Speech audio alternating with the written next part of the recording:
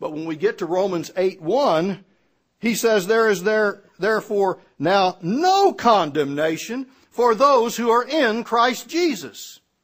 No condemnation. Same thing we've been saying. We've been transferred, as I said a while ago, from one position to another position, but it doesn't end there.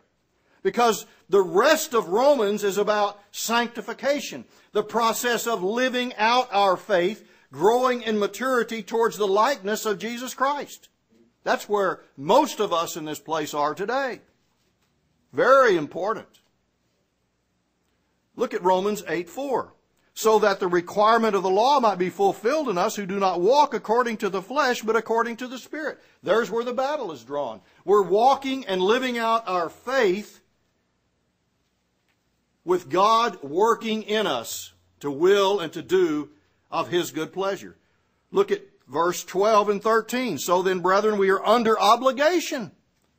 We have been saved. We're under obligation, not to the flesh, to live according to the flesh, for if you're living according to the flesh, you must die. But if by the Spirit you're putting to death the deeds of the body, you will live. He is a new creature in Christ, and the battle is there. Doesn't mean it's easy, but God has equipped us. Look down at verse 23.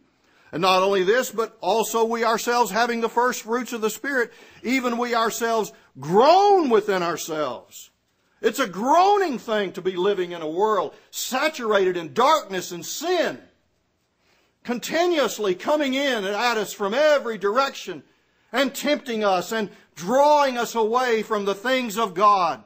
And we groan within ourselves. It's a battle going on. But notice verse 27.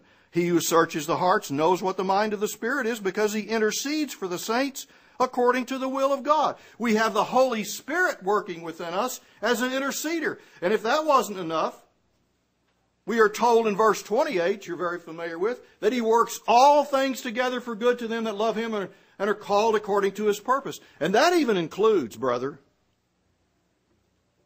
the sin that still remains in our life. He even uses that we intended it for evil, but he intended it for good. And then, if that's not enough, Christ also is our interceder. Down in verse 34, who is the one who condemns? Christ Jesus is he who died for us, uh, rather, who was raised, who is at the right hand of God, who also intercedes for us. Christ is our interceder at the right hand of God the Father. And so you know the rest of what Romans 8 says that nothing can separate us from the love of Christ. But we are clearly in a battle.